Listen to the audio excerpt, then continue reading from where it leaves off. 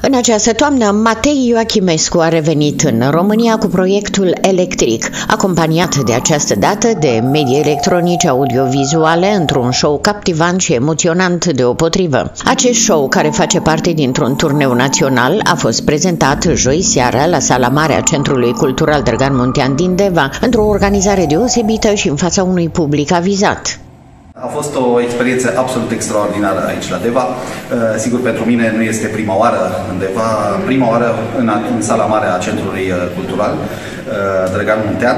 O echipă extraordinară, care îi mulțumim, ne-am simțit extraordinar, ne-am simțit s-a purtat grija noastră, am avut uh, așa, o experiență cu totul și cu totul specială. Uh, publicul, atât cât a fost, uh, a fost unul extrem de entuziast și care a înțeles exact mesajul uh, proiectului nostru, unul de, de, de scufundare într-o lume cu totul și cu totul uh, interesantă, nouă și în orice caz departe de grijile cotidiene.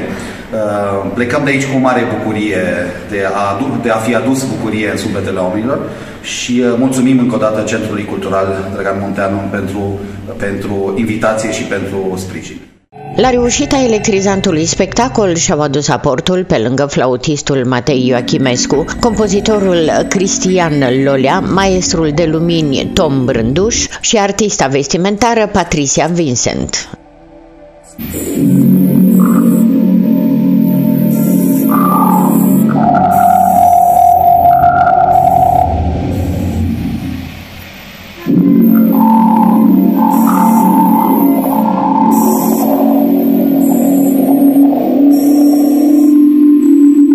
Evenimentul muzical de la Deva a fost organizat de primăria municipiului de la Poalele Cetății în colaborare cu Centrul Cultural Drăgan Muntean din localitate.